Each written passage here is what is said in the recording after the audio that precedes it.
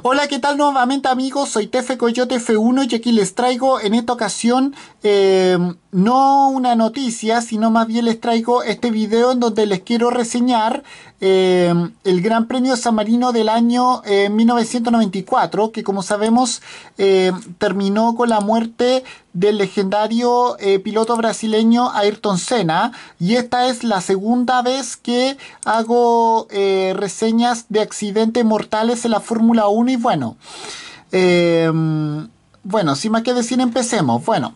eh, como todos sabemos, eh, el Gran Premio San Marino del año 1994 fue uno de los grandes premios más eh, trágicos de la historia de, la, Fórmula 1. Y bueno, como todos sabemos, la primera... La, la primera tragedia, bueno, casi tragedia, ocurrió precisamente durante ocurrió precisamente durante los entrenamientos libres. Eh, eh, en ese momento, el joven, el joven brasileño Rubens Barrichello, que por aquel entonces era piloto de Jordan, que era su segunda temporada en la Fórmula 1 y además la, también la segunda junto con la escudería, con la entonces escudería de Silverstone. Eh, durante los entrenamientos libres en la última curva del circuito tuvo un accidente y, y, su, y su auto terminó dando vuelta de campana. Eh, como sabemos, Barrichello fue el único sobreviviente de, eh, de este fin de semana. Bueno, eh, de hecho, casi le costó la vida este accidente, pero, pero como yo ya dije, fue el único sobreviviente que, que tuvo esta carrera. Posteriormente, durante las clasificaciones, un piloto novato austriaco eh, un piloto novato austriaco eh, de, un, de, un, modesto equipo llamado eh, MTV Simtech 4, llamado Roland Ratzenberger, chocó en la curva Villeneuve contra un muro de, de, concreto que como sabemos chocó a más de 200, a más de 200 kilómetros por hora y, y después de ese accidente él perdió la vida porque tuvo una fractura en la base de su cráneo y eso le ocasionó la muerte. Em, eso le ocasionó la muerte y, esta fue la primera muerte eh, en un Gran Premio de Fórmula 1 desde, eh, desde el Gran Premio Canadá de 1982. Eh, el, el cual, en el cual falleció el italiano Ricardo Paletti. Después de esta reseña voy a hacerles eh, otra de, sobre el accidente mortal de Ricardo Paletti en el Gran Premio de Canadá de ese año. Y bueno, eh, como sabemos, era su primer año en la Fórmula 1, el de, el, de este piloto austriaco, Roland Ratzenberger. Y bueno, bueno, y, y, antes de pasar al de Ayrton Senna, bueno, recordemos que vamos a hablar un poco sobre la carrera. Bueno, hablemos un poco, no, vamos a hablar un poco sobre lo, sobre lo, sobre el estado anímico de Ayrton Senna en ese momento. Bueno, recordemos que Senna eh, Senna eh, tuvo un fuerte shock al, enterarse del, accidente y el fallecimiento de Ratzenberger y además eh, Sid Watkins, que por aquel entonces era el médico oficial de la Fórmula 1, eh, le que además era muy amigo de Senna, le pidió que dejara que dejara de correr para olvidarse de este, de este momento y y posteriormente y posteriormente le dijo que se fueran a pescar porque era un hobby que eh, ellos dos compartían. Bueno, y además, eh, sin, y sin embargo, eh, participó de igual manera en la clasificación Sena y, logró su 65, su pole número 65 y su última pole en la historia de la Fórmula 1. Bueno, y ahora sí pasamos a la carrera. Bueno, como todos sabemos, bueno, antes del accidente mortal de Senna, eh, cuando, empezó la, cuando recién empezó la carrera, el, monoplaza eh, Benetton Ford del finlandés Jirki Jardileto eh, terminó calado en la salida hasta que el Lotus Honda del portugués Pedro Lamy terminó chocando contra el, contra eh, la máquina de Leto. Y bueno, y además eh, saltaron por encima de la, de la reja que protegía a los espectadores algunos, algunos trozos de, los dos autos que tuvieron el, involucrados en el accidente. Y bueno, y además causó a nueve personas eh, lesiones de lesiones leves. Y además y además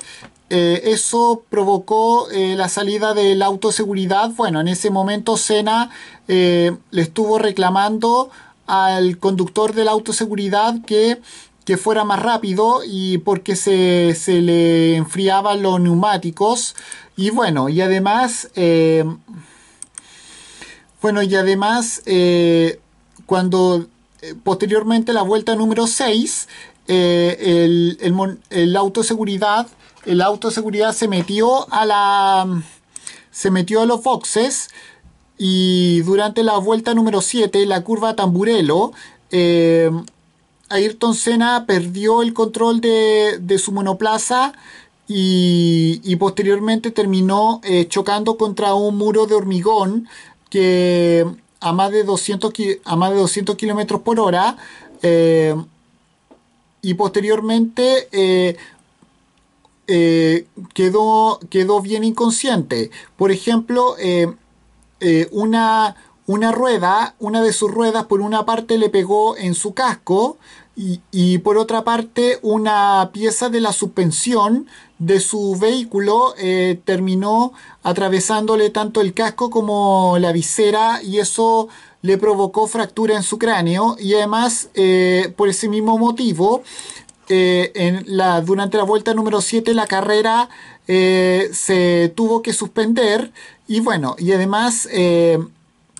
y además en ese momento Sid Watkins, quien habló un día después con Senna, intentó ayudar al piloto brasileño, al tricampeón mundial, a, a que a salvarle la vida porque le hicieron una operación, una traqueotomía de urgencia eh, en plena pista y bueno, y además fue, eh, eh, y hubo un momento en el que Eric Comas, el francés Eric Comas, por aquel entonces piloto de la escudería Larus, fue hacia, hacia, fue hacia la escena donde estaban atendiendo Cena y posteriormente eh, bueno, posteriormente los comisarios le dijeron que tenía que volver eh, a la línea de pit, a la línea de salida, y ahí fue cuando, eh, y ahí fue cuando, en ese momento, Comas quería salvarle la vida a Senna porque recordemos que dos años antes el mismísimo Senna le salvó la vida al piloto francés eh, en el eh, durante las clasificaciones del Gran Premio de Bélgica, en el, bueno, en el que casi perdió la vida en ese momento. Bueno, y además recordarles que eh, recordarles que posteriormente se llevaron a a Cena se lo llevaron al hospital de a un hospital de Bolonia eh, precisamente en Emilia Romagna en Italia, porque ese circuito está precisamente en esa ciudad. Se lo llevaron en helicóptero a un, al hospital de Bolonia eh, y, y, bueno, y además eh, después de eso, bueno, en ese momento la carrera la carrera fue ganada por el alemán Michael Schumacher, que como sabemos en ese, en ese año obtendría el primero de sus siete títulos mundiales. El segundo lugar fue para el italiano de por aquel, entonces, de, por aquel entonces del equipo Ferrari, eh, Nicola Larini, que como sabemos Nicola Larini fue, eh, fue su primer y único podio en la Fórmula 1 y el tercer lugar fue para el eh, finlandés de, la, de, la, escudería McLaren, en ese, en ese entonces usando motor Peugeot. Mika Hakkinen. En ese momento, Hakkinen eh, tuvo un. Eh, bueno, en ese momento, Hakkinen tuvo un. Eh, obtuvo uno de sus primeros podios. Bueno, y además por respeto a Ratzenberger y bueno, y obviamente por respeto a Senna, no, no se abrió el champán para celebrar y bueno, bueno, y, además en la rueda de en la conferencia de prensa, en la conferencia de prensa a los a los tres eh, del podio, eh, posteriormente eh, Schumacher se sintió muy feliz, bueno, a pesar de lo que había ocurrido, y bueno, y además, y dos horas después de que se terminara la carrera, se, se, anunció de manera oficial que Ayrton Senna había fallecido, que como sabemos había fallecido había fallecido en el hospital y eso fue confirmado por un trabajador del hospital de Bolonia. Bueno, eh, eh, bueno como sabemos, eh, Max Mosley, por aquel entonces presidente de la FIA, Max Mosley, por aquel entonces presidente de la FIA, fue al funeral de Ratzenberger y, lo, y dijo que fue para allá porque, todos, porque la gran mayoría de los pilotos asistió al funeral de Ayrton Senna que como sabemos tuvo lugar en su ciudad natal en Sao Paulo, en Brasil, eh, que como sabemos, eh, bueno, como sabemos eh, mucha gente fue a las calles con el fin de ver, ver pasar el ataúd de del, piloto, del piloto tricampeón eh, mundial, del piloto brasileño tricampeón mundial, eh, que como sabemos eh, el féretro no estaba montado en una carroza fúnebre, sino más bien estuvo montado en un carro de bomberos. Y bueno, y fue enterrado con honores precisamente en el cementerio de Monumbí, que el cementerio en donde está la actualidad, su su, ¿cómo decirlo esto? Su, su tumba eh, en Sao Paulo, Brasil. Bueno, y además, eh, bueno, también recordemos que a raíz de esto eh, se, se, hicieron muchos cambios en cuanto a seguridad. Por ejemplo, se tuvo que hacer obligatorio el uso del HANS, que es el sistema, que es un dispositivo de protección cervical que hace que, que evita que el piloto tenga que el piloto tenga lesiones en caso de un accidente. Eh, también eh, se ha hecho, bueno, también se ha hecho eh, modificaciones al circuito de Imola después de ese accidente. Por ejemplo, la curva Tamburello pasó a ser mucho más lenta, al igual que la curva Villeneuve y al igual que la curva en la que, en la que ocurrió el primer accidente. Y bueno, eh, el primer accidente de la mm, el primer accidente de la sesión eh, o sea el primer accidente de la del gran del gran premio. Bueno eh, también decirle que también hubo un juicio hubo un juicio contra contra tres contra tres miembros del equipo Williams. Esto eran precisamente el dueño el por aquel entonces dueño del equipo Frank Williams Patrick Head y Adrian Newey. Bueno, eh, también eh, a los dueños del circuito, Federico Vendinelli y a Giorgio Poggi. Y posteriormente otro que tu, otro que otro que tuvo un otro que también fue enjuiciado fue otro que también fue, fue enjuiciado fue Roland Bruin-Serarde, que era por aquel entonces director de carrera de la Fórmula 1 en la FIA. Bueno, eh, bueno, y la muerte de Senna sería la primera, sería la última muerte de la Fórmula 1 hasta eh, dos años, hasta, hasta más de 20 años después, eh, cuando falleció el, el francés Jules Bianchi después de estar varios meses en coma a causa del accidente en el Gran Premio de Japón. Eh, ese también lo voy a reseñar después de esto. Y bueno, eh,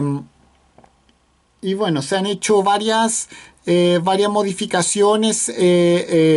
No solamente en los circuitos, también en los monoplazas, en todo relacionado con la seguridad. Y bueno,